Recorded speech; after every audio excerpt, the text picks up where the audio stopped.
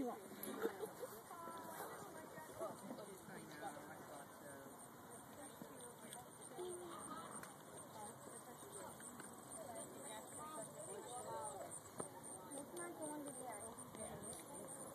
Water mat?